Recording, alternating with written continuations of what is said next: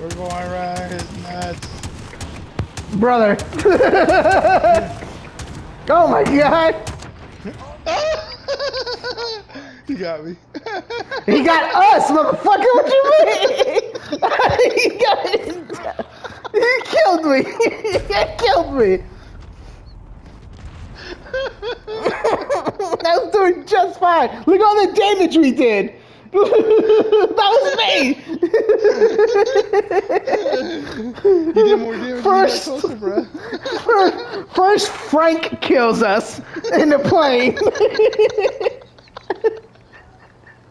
and then kill me.